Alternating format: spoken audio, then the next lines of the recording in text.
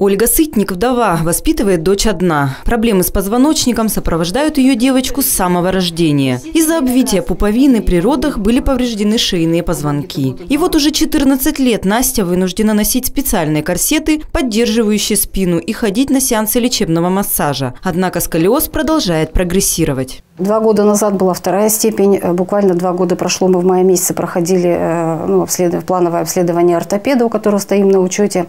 Вот, и уже усугубилось, уже ортопед ставит нам третью, четвертую степень.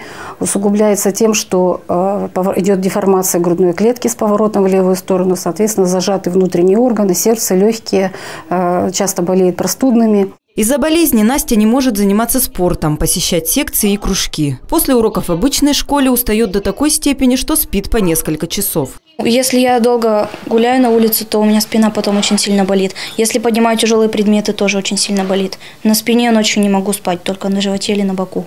Ангарские врачи направляют Настю в Новосибирск. Там могут сделать нужную операцию совершенно бесплатно, но только после 18 лет и по старому методу. Мама девочки опасается, что ее дочь до совершеннолетия просто не доживет. Альтернативное лечение возможно в Киргизии. Его стоимость 10 тысяч долларов. Собрать такую сумму ангарчанка не в силах, поэтому через СМИ и обратилась к землякам с просьбой помочь. Но таит секреты, осень без сомнения. Сашин самый лучший праздник день рождения.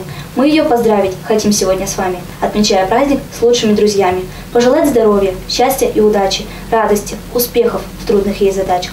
Тайна открывания, жизни наслаждения. Сашин самый лучший праздник день рождения. Евгения Шильникова, Михаил Тырышкин. Местное время.